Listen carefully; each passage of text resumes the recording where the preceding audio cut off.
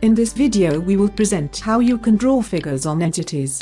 Figures on entities are attached to the schematic element, meaning that they will be transformed, moved, copied and rotated according to the behavior of the schematic element.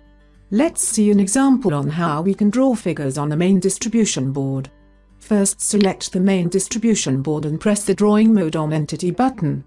This will start the Drawing Mode on Entities action. Use the drawing functions to draw the figures.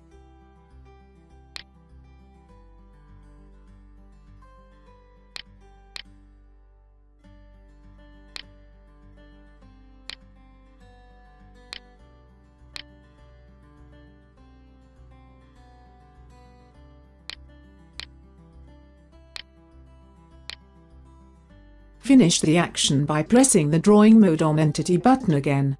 Note that the figures are attached to the distribution board as we move it. Let's repeat this, to draw figures on a final circuit.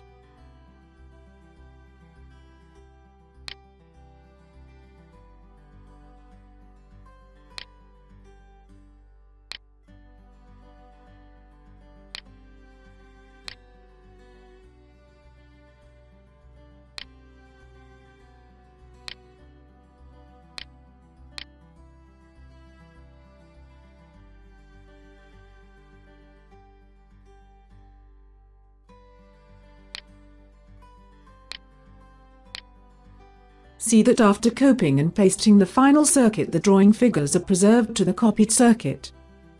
Figures can be drawn on any schematic entity including also custom symbols.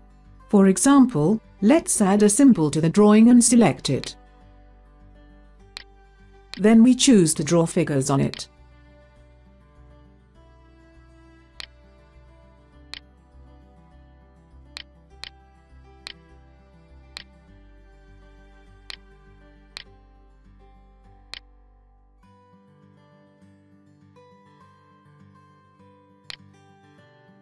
After completing the action we will copy and paste it to the other circuit. Notice that the drawing mode entities are preserved to the copied symbol.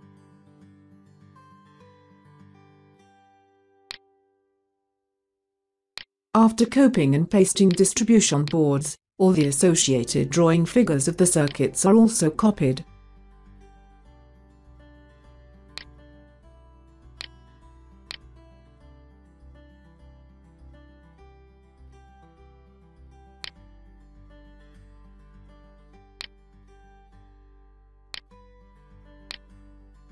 Drawing figures on entities are also preserved when creating or restoring pages. Thank you for watching.